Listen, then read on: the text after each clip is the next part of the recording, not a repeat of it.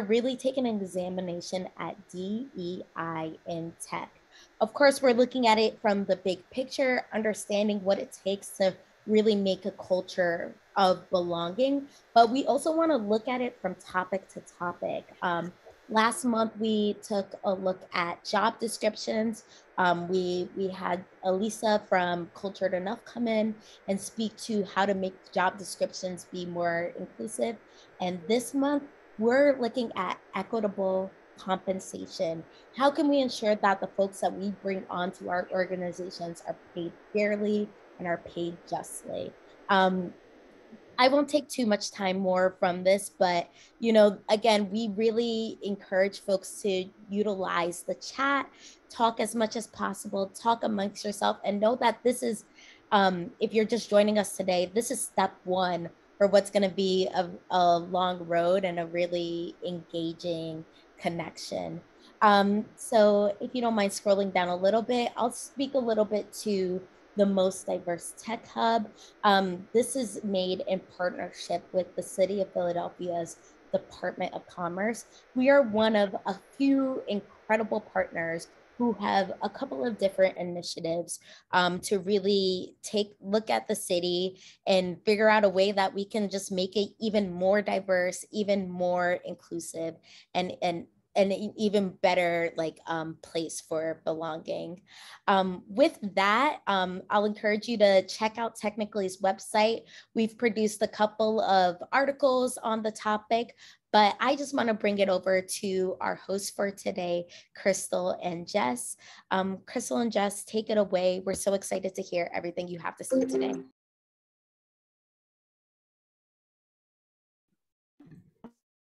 There we go. Thank you so much, Deborah. Um, we're really excited to do this. This is a topic that Crystal and I have talked with each other about for a long, long time. So we're excited to get to bring some of what we've learned and some of the questions that we still ask and struggle with. Um, uh, so just by way of quick introduction, um, I'm Jess Gartner. I'm the CEO of Allovue. We're an education finance company in Baltimore. We are about nine years old and about 35 employees today. Um, we have been working on moving towards pay equity and transparency in some way, shape, and form really since our founding, although that's evolved over time and we've still got sights on where we want to take things from today. And I am Crystal. I currently am the chief of staff at Urban Teachers. We aren't actually all that much older than all of you, so we're about 12 years old. Um, our staff is about 150 um, and growing as we increase our regions um, where we operate. Um, and you know, pay equity is something that I think is very personal to me. I sit at a couple of um, uh, different identities that are typically historically underpaid, and so uh, it is something that I seek to improve in whatever space that I'm in. Um, don't have all the answers, but have a lot of lessons learned. And I'm excited to dig in a little bit with you all today. Yeah, I want to echo that piece about don't have all the answers.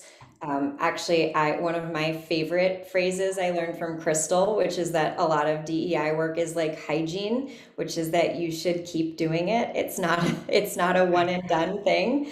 Um, I I would not call myself an expert on this front, but it is something I've that we've put a lot of work into and I very much believe in learning in public because a lot of this work is really hard. It's really messy. It's scary if you have not done it before and I think it's really important to hear from people who are in the thick of doing it so that we can learn together and be better together. Okay, Deborah, I think you have um, a quick poll queued. If we could, if we could get that started here for folks. So if you could just take a quick minute um, and respond to the poll that Deborah posted, just so we could get a little bit of information about who is joining today.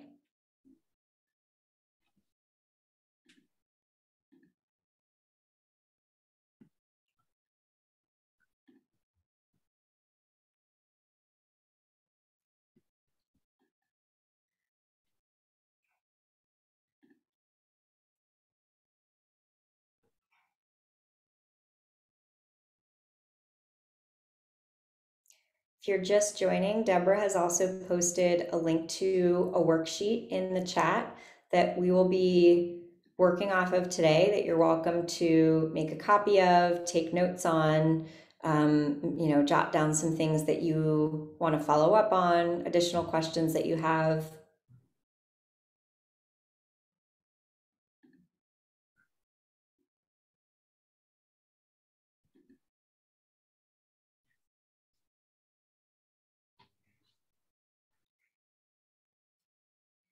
Okay, so it looks like this is great. It looks like more than half of you are either chief people leaders, CEOs, or COOs. Um, definitely more than half of you if we add in the CFO. So a lot of folks who are in positions who can be making organization wide changes, which is awesome.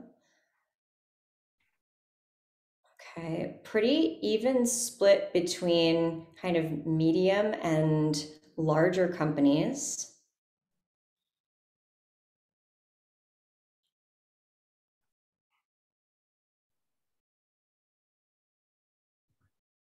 Okay, and we've got a lot of folks on today who are in positions to make organization-wide changes, which is awesome.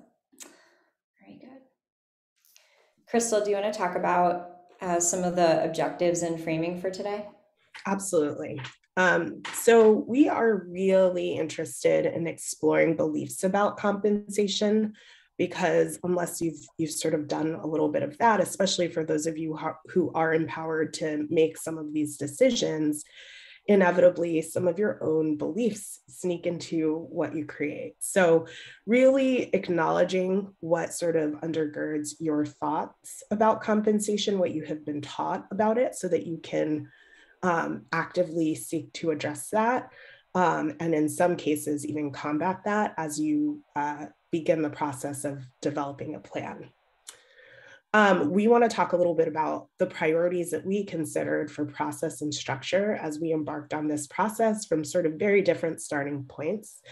And then minding the gap. So, inevitably, as you get into this work, you're going to have your ideal and what is currently happening.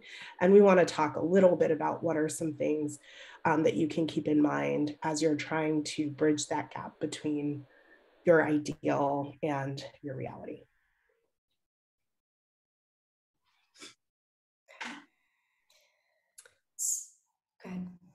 So, beliefs about compensation. Um, I can tell you that I grew up in a family where I was incredibly informed about money, almost too informed. I knew exactly what my mother made.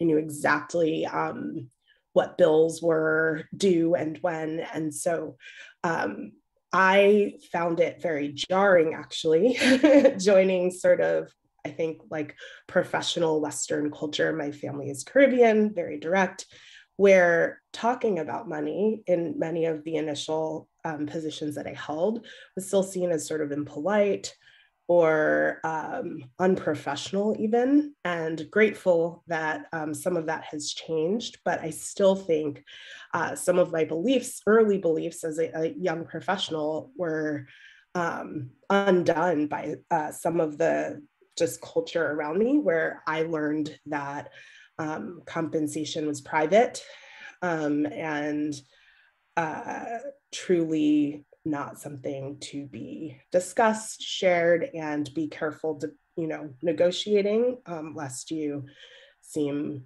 um, too entitled. So those are some of my early beliefs about compensation um, that I kept in mind as a leader in being able to create a system for an organization. I had the exact opposite experience of Crystal growing up. I grew up definitely with that taboo sense that you don't talk about what you make, that it's impolite, it's rude to ask, it's rude to tell. Um, it's you know seen as like gauche if you talk about your salary and compensation. Um, so I very much grew up with that mindset that this was something that you didn't talk about. Um, grew up with that sense of you know negotiating is is part of part of how this works. It comes with the territory of being an adult, getting a job.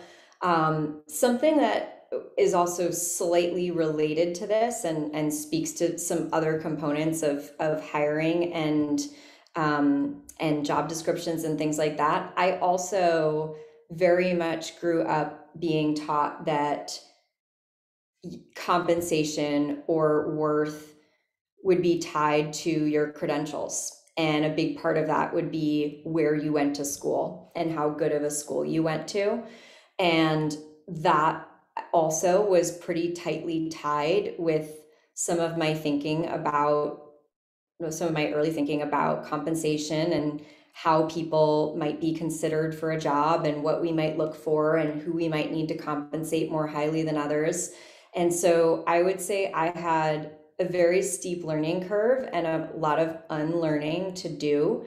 Um, and the more that I have learned about the disparities that can exist by keeping some of these hidden, the more that I was compelled to make a difference as a leader of an organization and do things differently. But there was definitely a period where a lot of that felt very uncomfortable to me. And I was also surrounded by people who thought that that was crazy and just thought it was an absolutely catastrophic thing to do as a leader. I still get that pushback sometimes. People still even, you know, even though we've been doing this for several years and it's it's starting to get more social cachet as a business practice, I still get a lot of pushback on it. So, you know, to echo Crystal's earlier point, I think it's really important to be honest about where some of your personal beliefs and mindsets might come from, even as early as five, six, seven years old. Um, and knowing that that might impact some of your thinking or some of the conversations that you have with your executive team or even other employees um, as you as you start to think about and put this work into practice. Thanks for sharing that, Jess. Um, and I think this work is inevitably vulnerable if you're doing it the right way. Um, so we want you to take a moment to consider these questions um, and reflect. What were you taught about money and compensation growing up? Even if you believe something different than what you thought growing up, still name it, write down what it is that you were taught about money and compensation growing up. Consider what worries you about pay transparency, if anything. And then what excites you about exploring compensation transparency. And we will give you a minute and a half to think through these things and feel free to um, share in the chat if you feel so moved also feel free not to if that feels uncomfortable. Crystal and I are both former teachers, so we respect that people have different ways of processing information. So if you want to speak up and join the conversation, if you want to keep your thoughts to yourself, write them down, do whatever you need to do to take this time to process and reflect.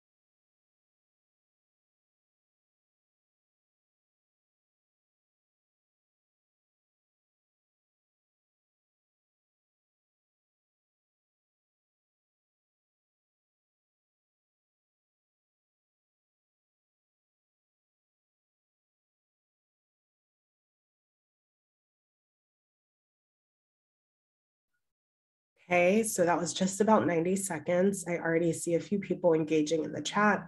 Um, feel free to continue doing that, but this is mostly for you. Um, so take more time to consider these questions um, on your own.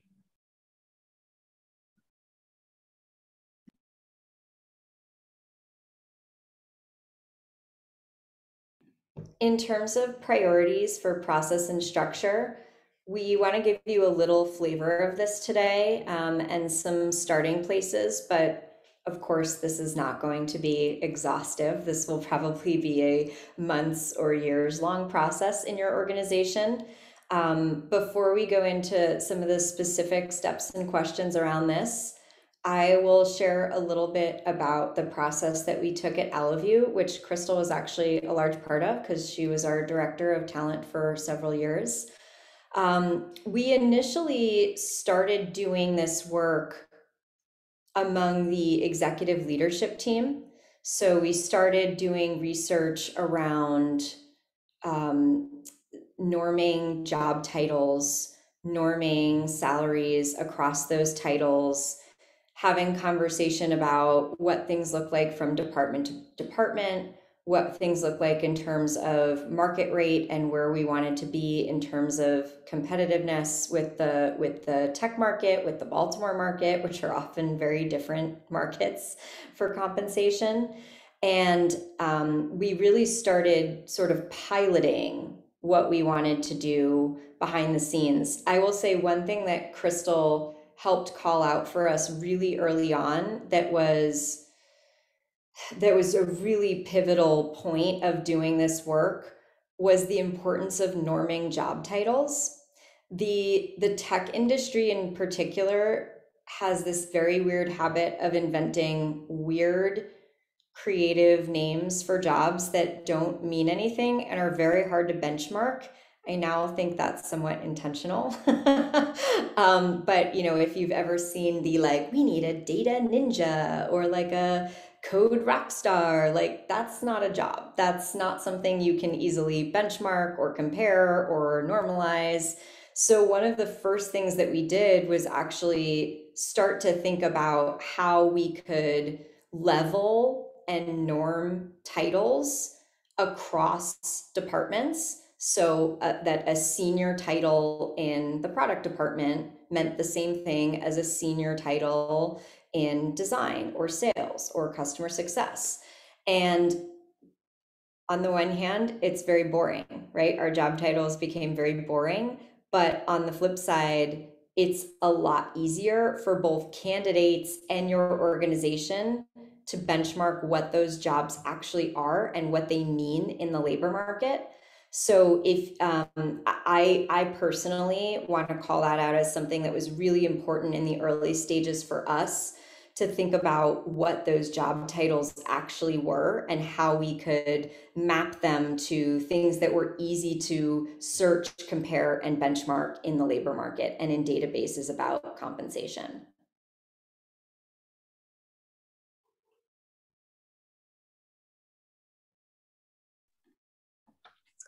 So, um, you know, coming from Allovue, which is a young new company when I worked there, and um, moving into uh, Urban Teachers, which is more of a middle stage, you know, I'd say getting out of infancy and toddlerhood into, you know, teenage development of an organization. Um, I, I entered a space where surprisingly there were there was very little title um, consistency. There was little job description consistency, even of those ultimately doing the same work. Um, and there was a, a, ton of opaqueness around pay, no existing structure at all. Um, basically, a hiring manager would maybe check LinkedIn, maybe not, and um, or Glassdoor and find what they thought was com- comparative in the market by looking at job title um, and not even doing that second double click of job duties, which is even more important. Um, and then placing sort of a rec out there. And so I entered an organization that had tremendous pay disparity. And um, we really had to start from the ground um, and maybe even below zero because when COVID hit, we also had to do salary reductions. So if you compound reductions on top of pay um, uh, opaqueness and inequity, you get basically a really frustrated, upset, and um, righteously angry um, employee base. So for us, um, me understanding where our people were and, and why they were there, I knew that we needed to work with an outside partner in order for folks to even trust the process. And um, learned a lot from that external partner, not hiding the ball. We worked with Agility, known for um, really considering um, equitable pay practices. Um, to help us think through how we would move from a total free for all, frankly, into um, a, a, pay structure.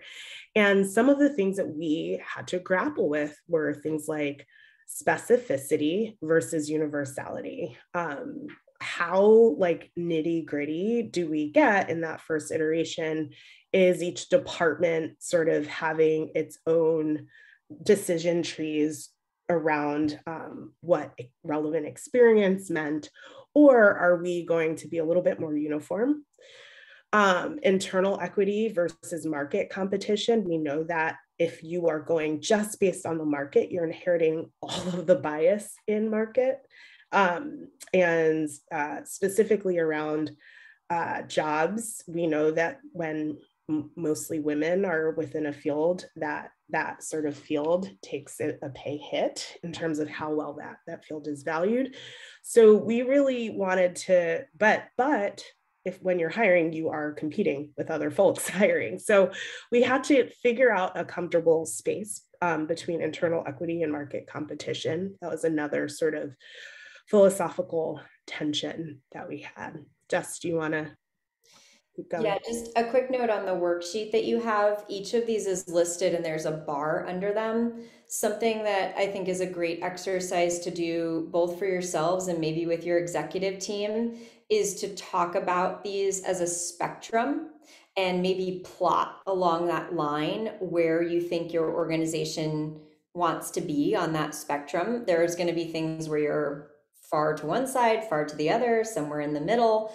Um, because a lot of a lot of the part of this process is defining your philosophies around compensation structure because there are there are there's no one right way to build a compensation structure there's plenty of really wrong ways but there's there really isn't a one size fits all approach and some of it does have to do with where you are as an organization what industry you're in how much external funding or not you have where you might you know you might have a, a wider range of opportunities whether your organization has um, non non cash compensation as part of your model like extra benefits or equity. So having these conversations um, as a leadership team in terms of what are you know regardless of what some of your original mindsets might have been around compensation what's sort of your ideal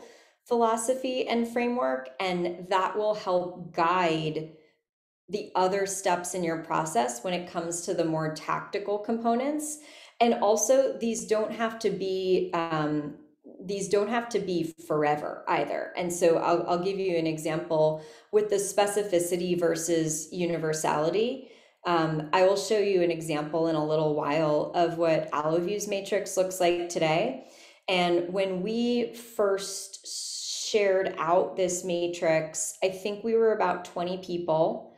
Um, the executive team and department heads, and honestly, really me in a lot of cases, were making almost all hiring and offer decisions. So there was not a huge need for overly engineering standardization because that calculus was sort of in my head and i could know that like if i was involved in every process i could sort of norm that as we went um, so taking taking the time to be like overly engineered on specificity was much less important at that time than getting sort of a broad structure in place for pay levels and, and compensation.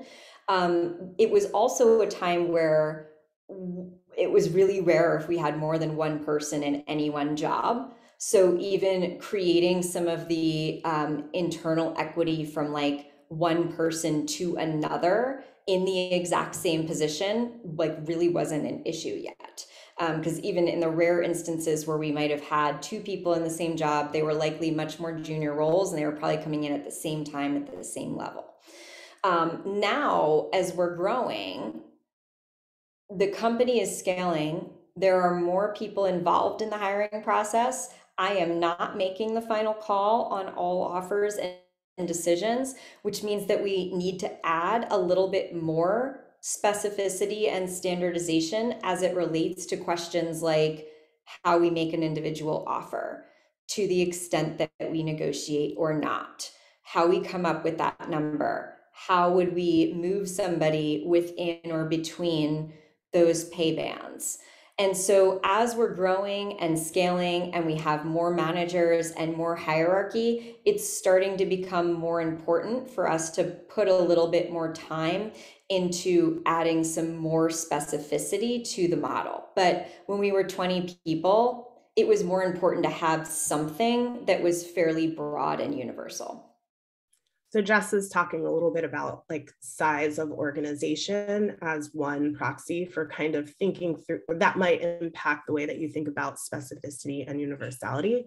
I'd also suggest that your current pay practices may also um, have some uh, that that might be something to consider as well.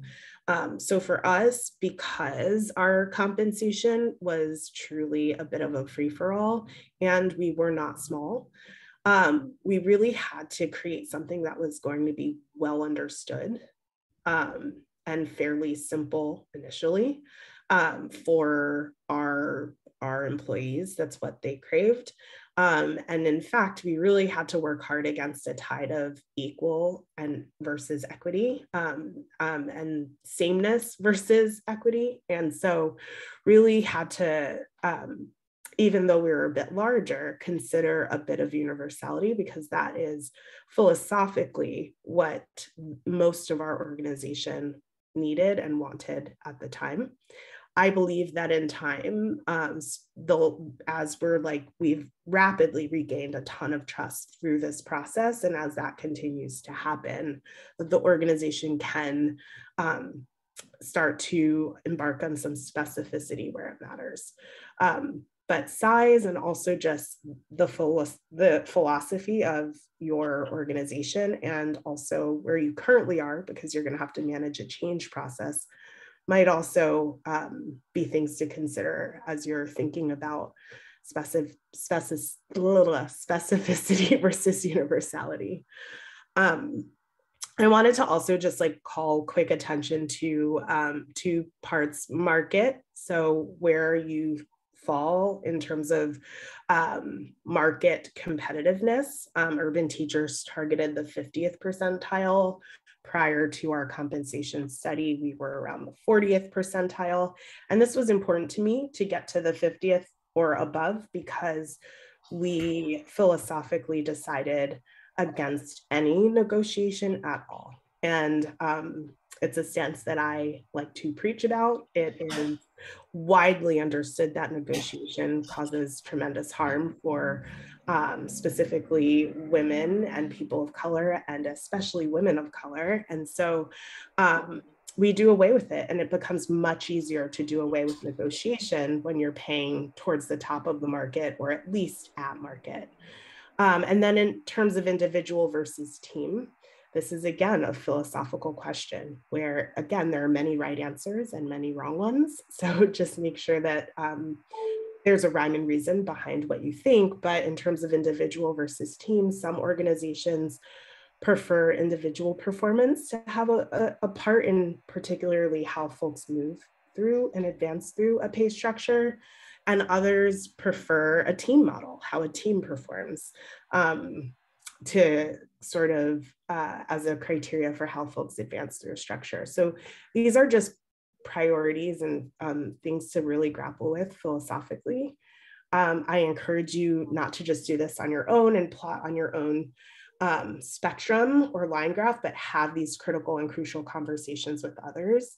It will unearth, again, more of those mindsets and more of the thinking um, that you'll need to get on the table in order to build a structure that um, makes sense. I also want to double click on something that you mentioned, Crystal, about the internal equity versus market competition. So as you are thinking, and this kind of goes with that market percentile piece, there's there's some overlap in this conversation. Part of your equity audit and your compensation audit might be seeing where your staff is today compared to market rates. But I cannot stress enough that there are deep inequities baked into those market rates. And I think it is very important to remember that market rate does not mean gold standard. And so you will likely see that there are disparities in the market rates because we know that these pay equities persist. And I have a, a particular challenge with that as a tech company because in the tech industry, developers are treated almost like gods among men in many circles, especially in certain regions of the country. And so you will have to make a decision. Do you want to compete with Facebook and Apple and Google on engineering talent and pay software developers 10 times what somebody in another department might be making? Or are you going to say, no, actually, we want to normalize our pay scales across departments and roles um, in a much closer way, which may mean that your market competition for some roles might look different than they do for others. So it might not be your goal to be in the 75th percentile for every role. Now, on the flip side of that, there are also many roles that I believe are dramatically underpaid. There are roles where people are not making a living wage, also not something we're trying to replicate. So I've been very clear for a long time at Allovue that if we do market comparisons, it is likely that it will confirm what I know to be true, which is that our floor is probably higher. We do not hire anybody really below median national income, and our ceiling is lower. We are not paying people half a million dollar salaries. We're not compete. Yeah, if you want to go work for Apple and make a half a million dollars, go for it. Like we're not the we're not the place for you that's a conscious decision you have to make and you have to think about how that philosophy plays out in your structure and you also think about have to think about what you will do when your top candidate comes to you and says Jess, your salary max is out at 150, but I have an offer in hand for 350 at this cool Silicon Valley company if you make an exception, you don't have a compensation structure. So you have to really decide now what your philosophy on those things are and how you will handle them and what your justification is for that. Crystal, anything else that you want to add on there? On these no, things? just well said on the difference between market um, and gold standard. I, I if there's one thing you take away from the slide, let it be that. Um, you are not aiming to replicate the market. It is not a great place. um, and consider, especially in tech, who predominantly are your developers, um, what gender and racial background they are, and consider whether a tremendous um, pay gap between a senior developer and a senior customer success person um, at that degree is is equitable, um, even if the market is saying um, it is. So, the other thing it reminds me of is like all of the uh, artificial intelligence algorithms that are supposed to like vet like uh, applications and resumes but if they're if those algorithms are all written by white men then like those the, the computers and the algorithms are only as smart and unbiased as the people writing them right? So it's like if you have to be careful what you're comparing to if you're comparing to something that is biased and inequitable your structure will be biased and inequitable um, before we move on there are there any questions about any of these if folks want to pop into the chat or, or raise your hand and, and speak up if you had any any questions or thoughts on any of these spectrums and, and how, how you might think about them with your teams.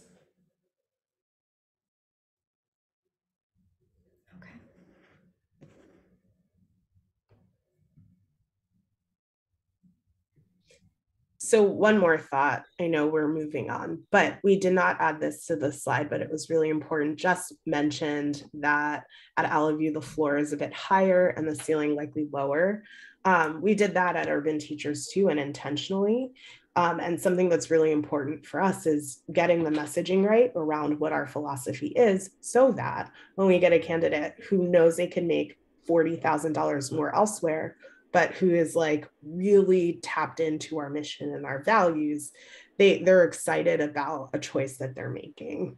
Um, but we we too have a ratio between highest and lowest paid that we will never supersede and we have a wage floor based on MIT's um, living wage calculator. And that goes both ways crystal too because i know one justification that I've heard from people, or one defense against pay transparency is if you're going to say the floor for this role is $60,000, but you get an applicant who's currently making 40 and says they really want to make 45. Well, a true capitalist would say, we're wasting $15,000 by offering them 60 when they would have taken 45. But an equitable compensation structure says you were probably being dramatically underpaid for your skills at $40,000. We have independently decided that the responsibilities and accountability and experiences that we are looking for in this role is a, at least a $60,000 job. And to pay less than that is to exploit your labor force.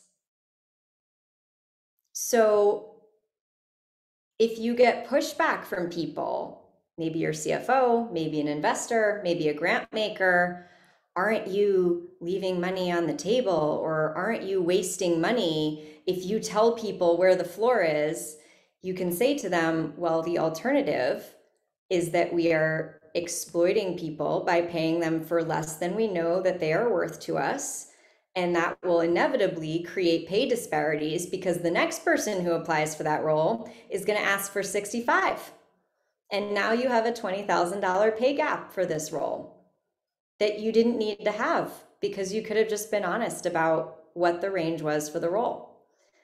So those are some of the tough things that make that might come up from a financial standpoint. And you know, look, I I was a I'm a startup founder. I know what it is like to have 2 weeks of money in the bank and to feel the pain of like oh, we need to save every dollar. This is not the place to save the dollars. I promise you.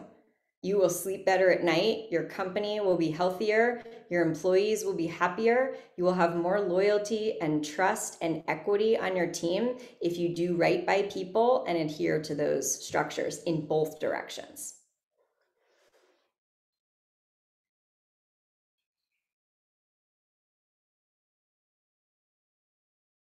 Crystal, do you want to talk about why we pulled um, some of these processes as key decision points that are related to comp structure? Absolutely. So, in terms of job description, Jess did a great job of talking about titles, and some title symmetry will support and be helpful um, in the in this process. But job description, i.e., duties, what is actually happening, um, how much authority to make decisions um, i.e., how much responsibility um, the folks in a specific job have, as well as um, whether they're managing folks, if that is something that you've agreed should get paid more, because not everyone will think that. And again, not necessarily a wrong answer there, um, but really sort of norming and getting some symmetry around job descriptions will assist in this process the job offer we called out um, because this is where inequity often begins. Um, right after the job description, it is within the offer, and oftentimes it is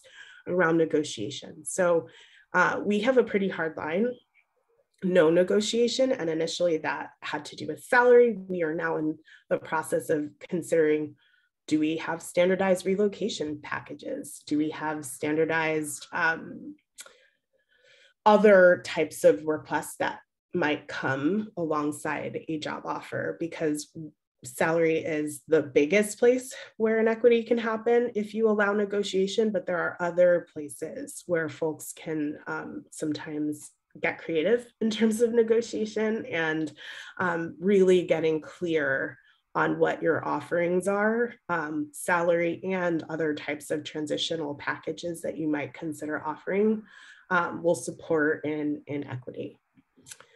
Reviews of performance, team performance, individual performance, the blend of both, whatever it is that you all decide matters to you and your organization and is supportive of your culture. Um, ensuring that you are creating a process that is equitable, creating a process. Um, one of the most equitable things that I believe can happen with a process around reviews is ensuring that um, the review team is more than just the manager. Um, and also ensuring that there is an appeals process or um, something that an employee can do and is empowered with um, to request um, a second look at, at, their review if needed. And then raises and promotion um, at Urban Teachers, one of the things that we've designed is a promotion window um, process where we look at raises and promotions twice a year. Um, and it aligns with sort of our financial calendar and our what we know our cash flow to be. This was incredibly important to me. My first year at Urban Teachers, I noticed that there is there are a couple of times a year where it seemed really advantageous to ask for promotions and raises where they'd get granted ease, more easily, and a couple times a year that you really probably should not ask for those things. And it, and it had to do a little bit around um, our, our cash flow and when we had to reconcile a few things. And so it was really important to me. And I, I thought um, specifically because that's how our organization functioned to consider raises and promotions um, all at once, a couple times a year, when we knew that like the primary driver wouldn't be panic over um, some sort of reconciliation. Um, and we could really look clear eyed at all candidates. So, those are some places that um, were really pivotal for me um, and for our organization as we were creating a more equitable landscape. Um, I'm just being mindful of time here. I think I'm going to actually pause here and I will show you guys an example of um, our structure at Allovue. Um, and, you know, bear in mind, this is essentially a living document because it's something that we evaluate and reevaluate at least annually. Um, so the way that our structure works is that we have seven bands of compensation and those bands are title normed across the organization. Um, so our one through three bands are always sort of this advisor or specialist type title, and they're levels one, two, three. Our, our band four is a senior position. Our band five is a director position. Band six is VP, and band seven is a chief or department head. we may need to add more bands as we grow. We may need to at some point add an, an SVP or um, you know a, level four in here before you get to senior. But right now, this was sort of the good balance for us at our size, under 50 people, having enough hierarchy that allowed us for us to be specific enough in job descriptions and titles, but not like so overwhelming and onerous that like every single person in the company had a different band. Um, the steps right now we have a min and a max range for the job and we keep them pretty tight especially at the lower levels. At the higher levels they do get a little bit broader up to a you know a 40 or 50 thousand dollar range for the very senior titles because there can really be a very different breadth of experience in the in the most senior roles of the company. Um, so I'll, and then we also have sort of indicated if this role is manager um, eligible. So in our company right now, you have to be band four or above to be eligible to be a manager. That doesn't necessarily mean you're a manager, but we we're not going to make somebody who's band two a manager. Um, so I'll talk about a couple of things that have, have worked well for us on this and some things that we want to change. Um, one, it's really nice having the titles consistent across departments. That's very helpful because there's sort of a, now an organizational knowledge of like, okay, a senior just means the same thing in terms of level of responsibility and experience across the company. Um, I think this has been the right number of bands for us. We also align these bands to our stock option allocations. We do not negotiate stock options and they do not differentiate by department. So let's just say, you know, if you're band two, you get 10,000 stock options, no matter what your role is in any department, that's your stock option allocation. There's no negotiation on it. Um, some things that we want to improve in terms of like moving towards more specificity as we grow. I want to tighten up what a starting offer means. Um, so, right now, when we post a job description, we'll post this whole range. So, if I'm posting for a senior account advisor, we'll post 100 to 150. The reality is, though, I'm not going to hire somebody at $150,000 starting salary for that role. We usually target the middle of the band. And so it's starting to occur to me like, well, why should we, why pace the whole range if really we're looking for the the beginning or middle of that band for a starting offer. Um, we're starting to have some conversations like that. We make a few exceptions, but the reality is, if you're really close to the top of that band, I have to wonder if you maybe shouldn't be at a band five position and and starting. So we're starting to have some conversations about what does it make sense to post in terms of setting expectations for a starting offer and how do we determine what that offer is with more standardization so how do we place people within that band for a starting offer um, right now it's a it's a conversation in terms of like here's what this person's skills and experience looks like and i have that conversation with the hiring manager but when I'm not going to be having that conversation, there needs to be a set of rules for it, right? We have to be able to scale that logic. We're also having conversations um, in terms of how we move people across and between these. Again, right now, it's a pretty it's it's pretty much a qualitative discussion amongst the leadership team. But as we start decentralizing that type of authority, to managers who are non executive positions, we need to have more well defined rules for how people move between and across bands. So, those are some things that we're currently exploring for tightening this up um, maybe giving it a little bit more definition. But again, at 50 people, I don't need like a Google level decision tree for like you, you know, you have to answer 50 questions to decide what somebody's starting salary is. So it's again sort of figuring out like, okay, what's going to be the right level of specificity to take us to 70 or 100 hires. I will quickly share just how um, how urban teachers is a little bit different. So we currently have, and I'll send, if possible, um, to Deborah uh, a snapshot, but for time's sake, I won't go into it. Um, we have sort of made it very clear, like in our offer letter, the salary that is listed is what will be offered, period. Um, we do have a geographic differential. We have um, five possible differentials that we apply based on what um, cost of labor of where the person um, we are bringing on is located. And so we, sh we share that, that here is the salary subject to a cost of labor um, differential depending on where uh, the candidate lives. We also have sort of specified almost steps um, so you know exactly what you'll make if you get a raise.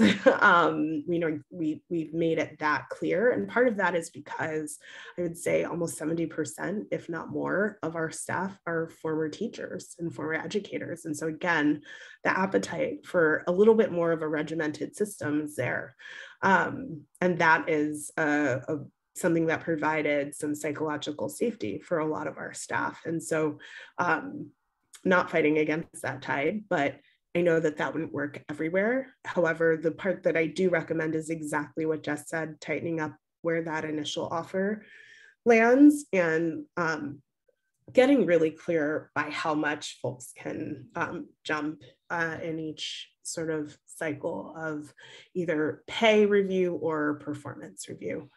I wanted to address Elena's question around communicating. And um, as you can imagine, there is no one size fits all. Um, you may be in a better spot than Urban Teachers was when I started this um, at UT.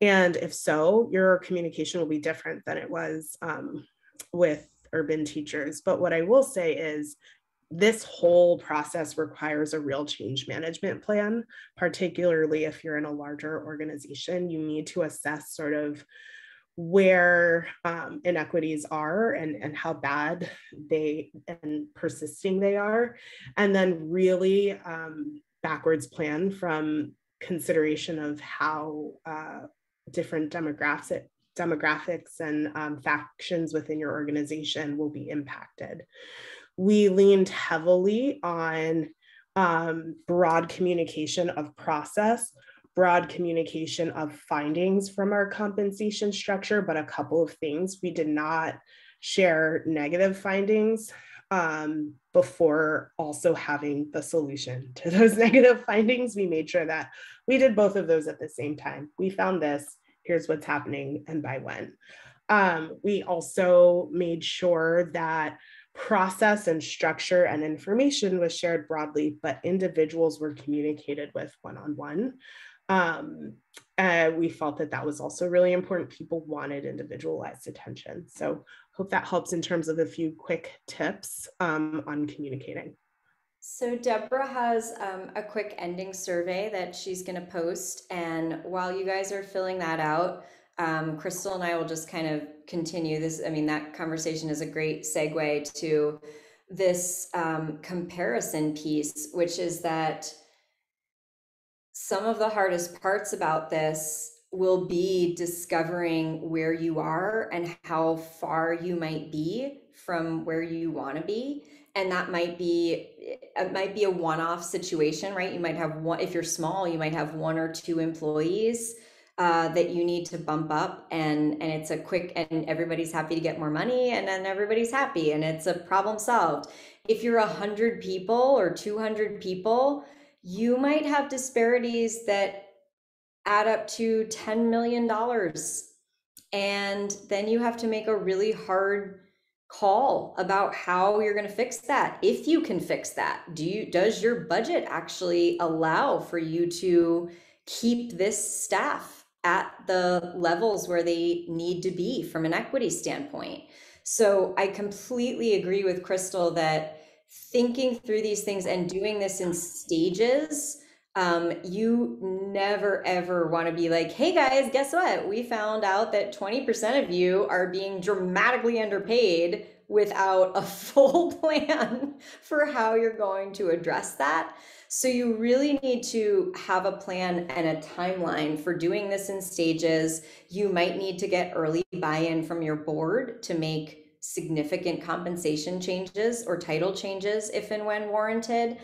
And I don't want to oh, I don't want to understate the emotional weight of that.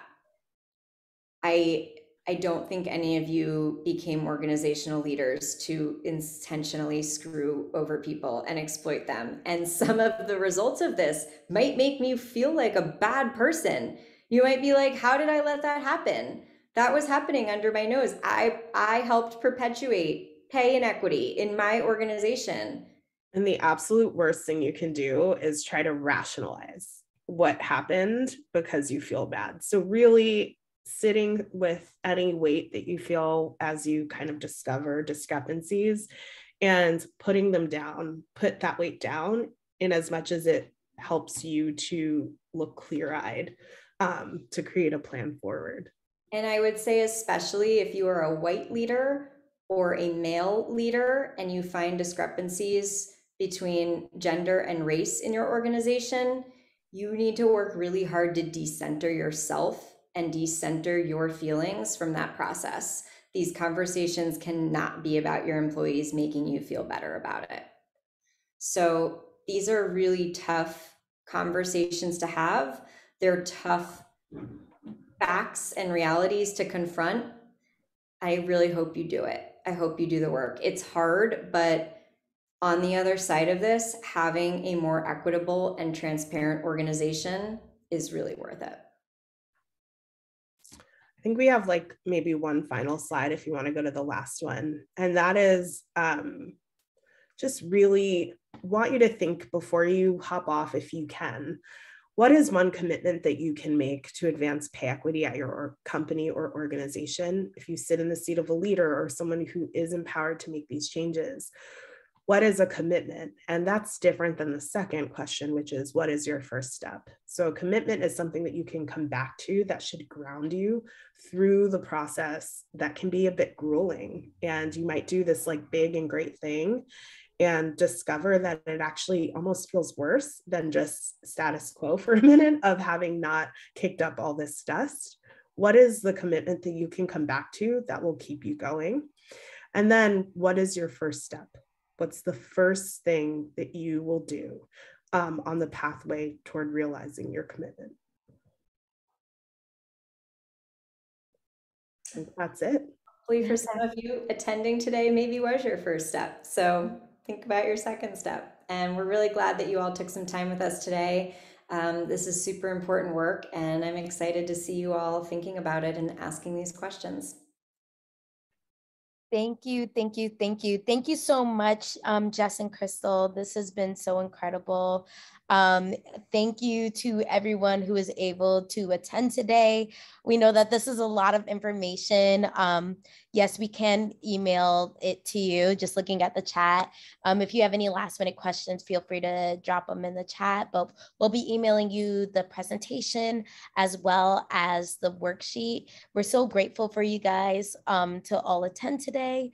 Um, if you have any questions about the uh, about anything, please let me know. Um, and also, yeah, we'll be in touch soon. We've already chosen the date for our next workshop, um, which is going to focus on the ethics of brand marketing when it comes to diversity, and that will be June 29th. Um, typically, these workshops are on the last Wednesday of every month, but we really appreciate Jess and Crystal and their flexibility so that we could do this workshop during Philly Tech Week. Um, I hope everyone has a wonderful day and we'll talk soon.